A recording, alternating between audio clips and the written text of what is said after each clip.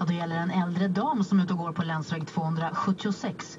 Berörd trafik som åker i riktning mot E18 och nu är hon ute och går i de centrala delarna av Åkersberga.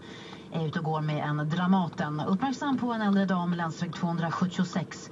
Eh, central Åkersberga och där i riktning mot E18.